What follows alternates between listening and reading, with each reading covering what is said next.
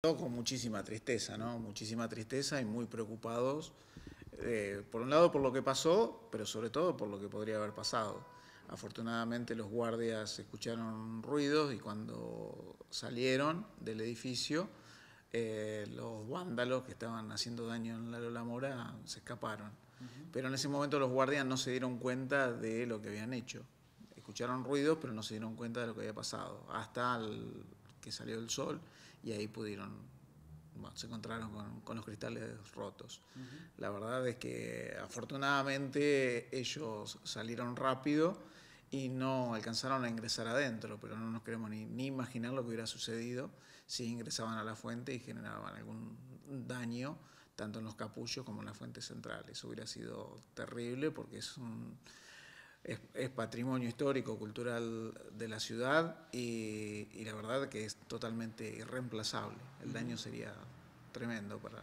¿Y era un grupo numeroso de personas, de individuos, los que estaban causando daños? Todavía no pude ver las filmaciones, estamos esperando, ahora las deben estar analizando, así que espero que en el transcurso del día tengamos alguna novedad. Pero evidentemente con, una finalidad eh, vandálica, ¿no? Porque entendemos que no hay intenciones de sustracción o lo que uno presume. No, no, en este caso creo que no. Ya no, o sea, faltó un, cristal, creemos que lo robaron, pero eso fue de hace varios días atrás.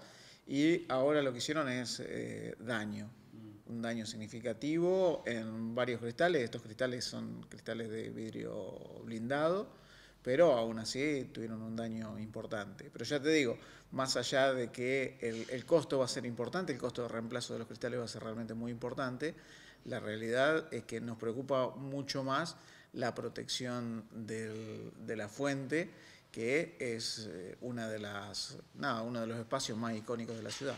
Daniel, ¿y se puede tomar alguna medida extra para proteger espacios como por ejemplo la Lola Mora?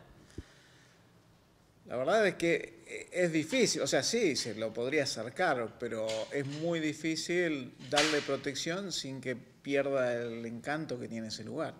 Eh, anteriormente teníamos una, reja que no era de gran altura, pero tenía una reja que daba cierta contención también, pero bueno, creíamos importante que toda la, la comunidad lo pudiera disfrutar de otra manera y por eso se hizo esta, esta intervención para rodearla con los cristales blindados. Pero bueno, evidentemente no alcanza, así que veremos qué se puede hacer. La realidad es que es una zona, sobre todo durante la noche, que es muy difícil de proteger. De hecho, hemos tenido otros actos de, vandalismo en el edificio.